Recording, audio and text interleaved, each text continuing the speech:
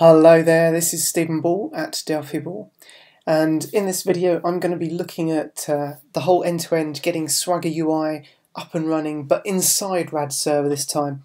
Uh, so those of you who are familiar with my blog may know back in uh, 2016 um, I did a session uh, or did a blog post about uh, getting Swagger running in Delphi uh, through RAD server and discussed what YAML is um, which uh, is kind of a markup language that's used by the OpenAPI specification to allow you to define and document your uh, APIs and then make them easily uh, visible and understandable to other developers. Now, um, the uh, the great thing with the whole kind of uh, RAD server um, setup is that uh, by defining that, you can then uh, produce the documentation automatically um, just by using a few attributes within the code. Um, the downside of uh, running uh, Swagger UI uh, in the browser outside of RAD server was that you then had to deal with this cross-origin resource sharing. Now that's relatively easy to get around by putting in uh, a plugin to your browser. Um, what I'm going to actually do is run it without um, the the plugin, um, and you know you'll get a, an error uh, straight up as the first point um, that you're trying to do this cross-origin resource sharing, unless you turn cross-origin resource sharing on um, within RAD server. Now, if you do that, then obviously it means that you open up a security vulnerability. Now, right, admittedly, this is just on our development machines, um, but by mapping uh, and the setup and configuration, um, we don't have to go through that option every time of just enabling CORS as well, um, which just speeds up um, working with these kind of things. Okay, so let's um, let's get on and get it downloaded.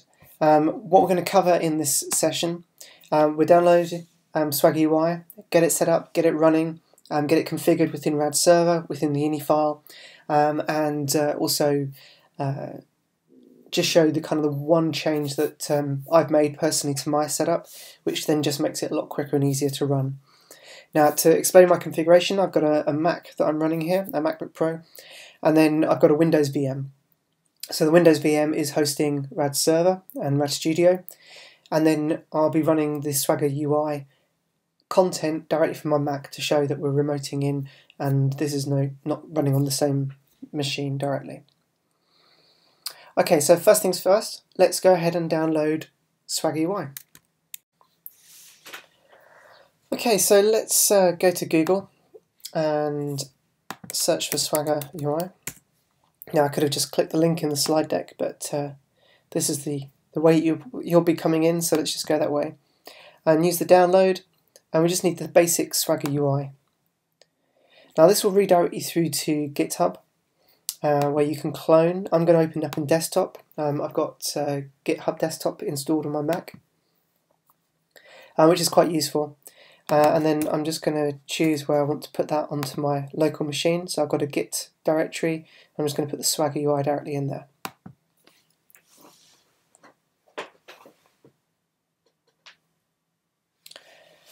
Okay, so once this is downloaded, um, which takes about two minutes, I'll then uh, come back and we can take on from there.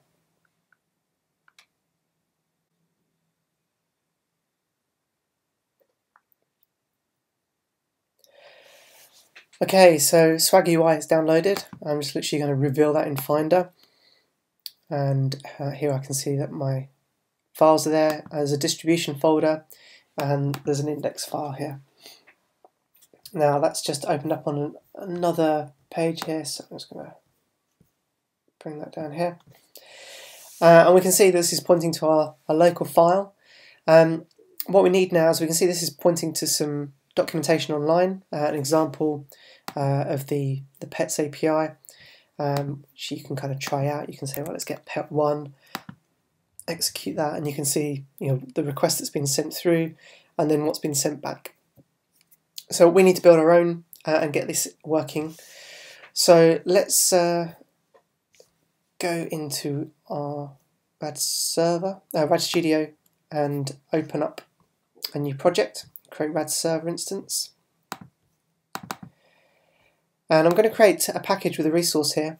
Uh, we're going to build a really simple module, which is exposing a single data set. Uh, and then later on, I'll come back and we'll show you some more advanced documentation and uh, some master detail detail with multiple parameters um, being passed through uh, as a follow on to this.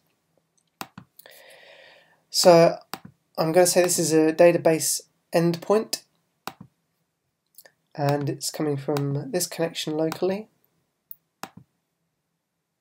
I'm just going to expose the exam table. Now I could select multiples and we'll come back and put others on at a later point, but I just want to do the one for now. And now we have our query, which shows us the data being fetched. And uh, we also have this property here, or this component here, uh, a TEMS dataset resource. Now the dataset resource allows this query, which is linked to this dataset, um, to be mapped to list, get, put, post, and delete. So I'm going to take the post, put, and delete off for the moment. I want this to be read-only uh, from this application. And uh, if we jump just behind, we can see that we've got a resource name, which is defining the uh, the exam resource here as being a resource that's available through the exam parameter. And then a resource suffix that says to get to this EMS dataset resource, use this exam. Uh, and in fact, I'm just going to take that out. I'm just going to say, actually just go straight to exam and we'll go straight there. So uh, let's not worry about saving that for the moment. I'm just going to run that locally here. Uh, open the local browser and we can see we've got a RAD server running and if we go to exam uh, we can see that we've got some stuff come back. Now uh, I'm just going to change that to exams which is plural. Uh, let's just rerun that.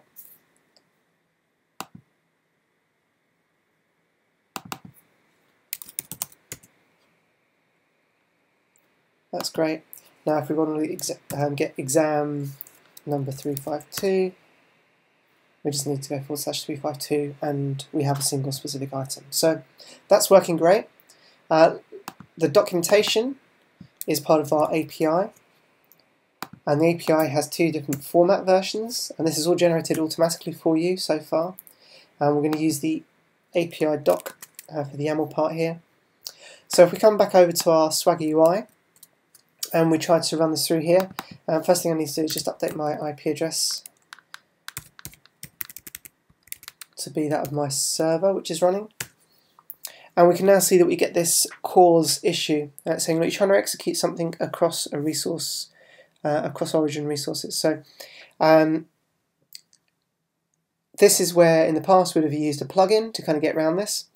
Um, what we're actually going to do now is show how to get this running without worrying about the plugins um, which just makes makes things quicker and easier. You don't have to keep constantly coming up and messing around with cross-origin resource sharing, and also it makes it just a little bit more secure. So to do that, what we're going to do, first step is we're going to go back into our application here, and all we're going to do is go find the ini file for our RAD server on our development machine. So under C, users, public documents, uh, Embarcadero EMS, um, EMS being Enterprise Mobility Services, the original name for RAD server. Uh, in here, right at the bottom, you will find there's this server public paths. Now this is great, and this is added in specifically to support things like Sencha Ext JS uh, and being able to put web files and bits directly into the RAD server and use them uh, and share kind of content directly out. Um, but you can actually do the same thing uh, with Swagger UI. So if you just use any arbitrary path name, it really doesn't matter.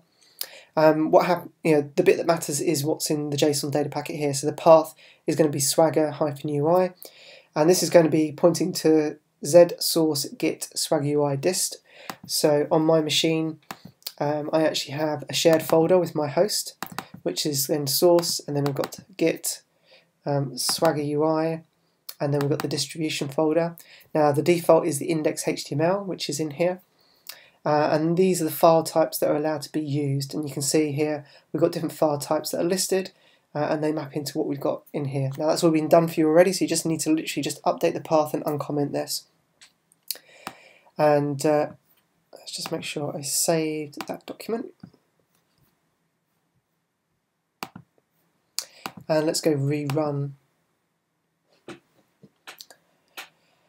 So that's not going to change the immediate issue here. You know, we're still not going to be able to do the cross-origin resource sharing, but what we can do is we can actually say, let's take this part here and go direct to our server uh, and then just go swagger-ui.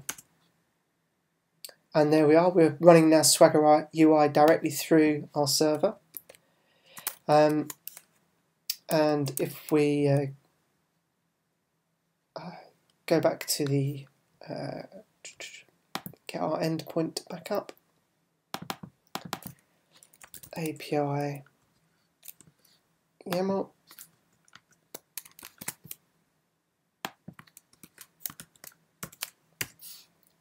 we can now see our documentation is coming directly up and if we come down uh, should have a default section in here somewhere there we are we can see we've got the exam and the exam IDs so we can go try this out we can execute we can see that we're getting our exam data back um, directly into the UI here which is great um, and if we go let's do a get with a specific ID and we can try this out. Now the problem is we haven't actually got the ID um, marked up as a, a, parameter here at the moment because um, we haven't actually defined it. So it's saying here, you know, we, we need a field value for exam ID. So what we'll cover next is actually adding those attributes on to, to do that. Okay, so the documentation uh, for the TMS REST set resource uh, is the same as any other uh, resource that we want to expose. Uh, we're going to use the resource suffix again, um, but this time instead of just defining that we want it to go from the root uh, with the exams, we're actually going to define it to have uh, the list get, put and delete. Uh, and we're going to actually define and name the parameter. So we can use this to define the parameter that we're going to be passing in. Um, so exam ID. And that's going to be important for us as we build up our master detail detail relationships um, through this example. Um, but also, uh, it then kind of matches into the endpoint uh, request parameter attribute that I'm defining here that says this is a path attribute that we're using, so it's going to be part of the path. Um, it's called exam ID, uh, and then there's some descriptive wording to go in here. So, you know, it's for identifying a specific exam. Um, this is a data type of integer we're passing in. Uh, you can you know, pick out the sand parts there. Um, and, uh, and off we go. So let's just jump back to the IDE. And I've literally, just to save time, copied and pasted uh, those, those points in. So we can now see that we've got, uh, this is going to be listed under an exams section. So we've got the uh, endpoint request summary. So this is a list of exams uh, providing application JSON and uh, and then the rest of the parameters set up. Uh, so I just need to make sure we're not duplicating that. Okay, good. So let's rerun. Oh, my mouse gone? Let's go ahead and rerun. Still got it already open, so let's just close and make sure we're getting fresh instance with the updated parameters. Okay, so if we go back to the uh, web browser that I had running here earlier, gone back to my Swagger UI. Um, one thing I have done is I've um, bookmarked on my browser the URL for my local machine my Windows machine, uh, just to save me having to type that in all the time.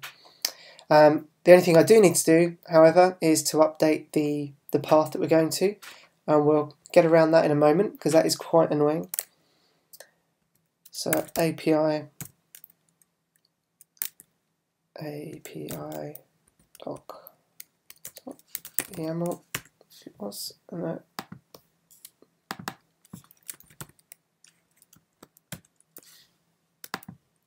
no just singular.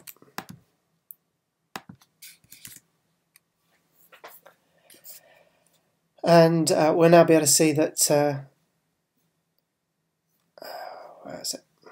there we are. We now have an exam section, and instead of just having a default ID, we actually have named parameters. Uh, we'll be able to see here that uh, we can still execute and try out. Um, although I've marked this as being a, an optional path parameter, um, just to kind of get around needing it sometimes and not others uh, in the UI. So if we put down exam 1, because I know there's an exam 1, we can then see the data coming back. So we're getting there. We are slowly getting there. Um, next, we're going to have to look at putting our detail and detail relationship in. Um, but before we do that, uh, just a, a quick way to sort out this uh, this path part here um, is to actually go and just do a search replace for pet store um, swagger JSON in the in the actual original file. So I'm literally just going to go and do that.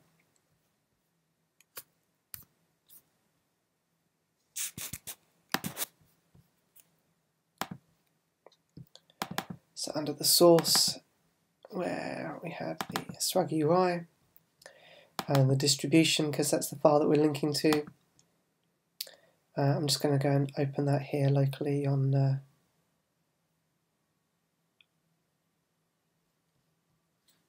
on my local machine. I'll just use Visual Studio Code just because it's a slightly nicer text editor on the Mac.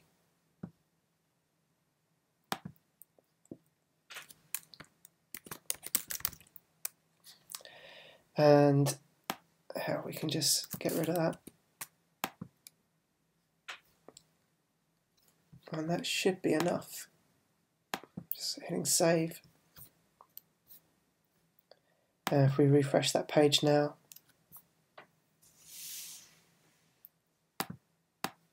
hmm. yeah, we can now see that it's coming up directly with the API documentation, which just saves another few uh, clicks along the way.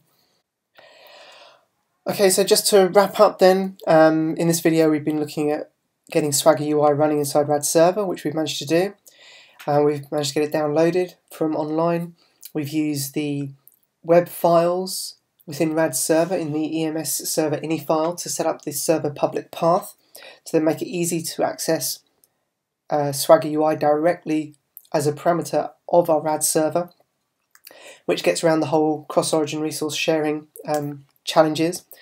We've also been able to update the index HTML for Swagger UI locally on our machine just to automatically load up the documentation through the API path. And we've also been able to set up using the EMS dataset resource the uh, op, uh, the parameters and define and name them uh, for use, um, which means we've got much cleaner and easier to read documentation. So in the next video, I'll be looking at expanding the uh, resource parameters and building in some master detail detail relationships um, just to, to finish off this session. So thanks very much, happy coding, and see you all next time.